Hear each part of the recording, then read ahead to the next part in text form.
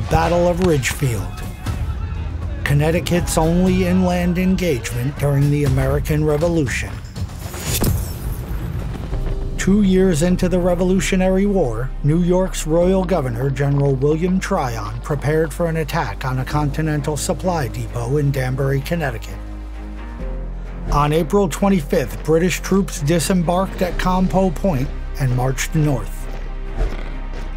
The British reached Danbury the following afternoon and quickly overran the small force protecting the supply depot. They destroyed the supplies and camped for the night. The following morning, as the British troops prepared to march back to their ships, a Continental force under the command of General Wooster prepared to engage them. Wooster divided his force. About 500 men were sent with General Benedict Arnold and General Silliman to Ridgefield. The remaining troops stayed with Wooster. He hoped to delay the British long enough for more reinforcements to arrive. In a surprise attack, Wooster's men attacked the British rear guard a few miles north of Ridgefield.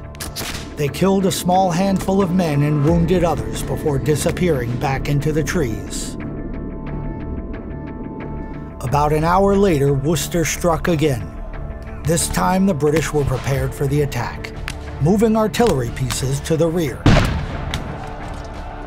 The British cannon sent the Continental militia scattering, and Wooster himself was wounded. He died five days later in Danbury. Wooster's sacrifice was not in vain.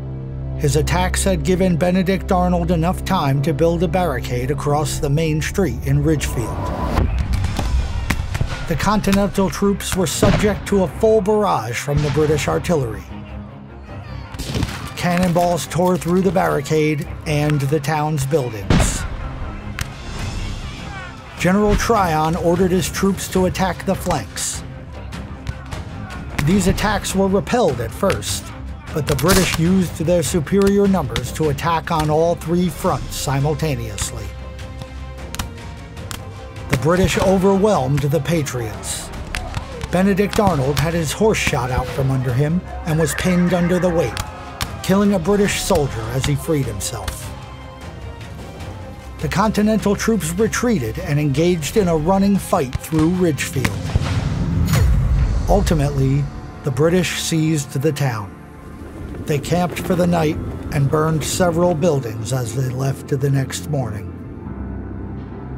Continental regulars and militias harassed the British troops as they marched back to their ships, but were unable to inflict serious casualties. The Battle of Ridgefield was a tactical victory for the British. They destroyed Continental supplies and left burned buildings in their wake.